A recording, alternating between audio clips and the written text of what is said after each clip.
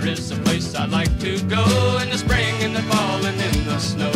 There's lots of friendly people there, and you don't have to bother to cut your hair.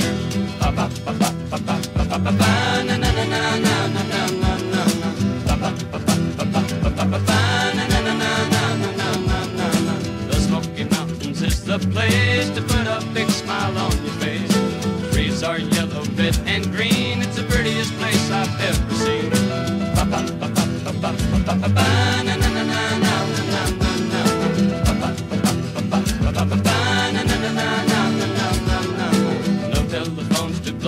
High, nothing but clean air in the sky. I think the heaven must be near, cause the angels' voices you can hear.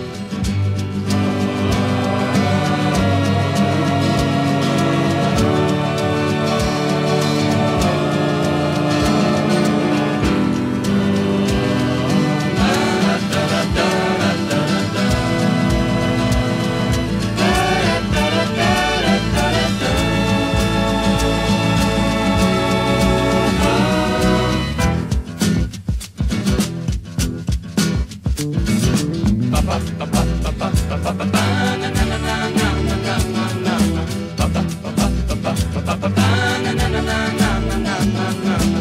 is the natural habitat for people who know just where it's at. Smoking is their claim to fame, and that's how the smoke Smokies got the name.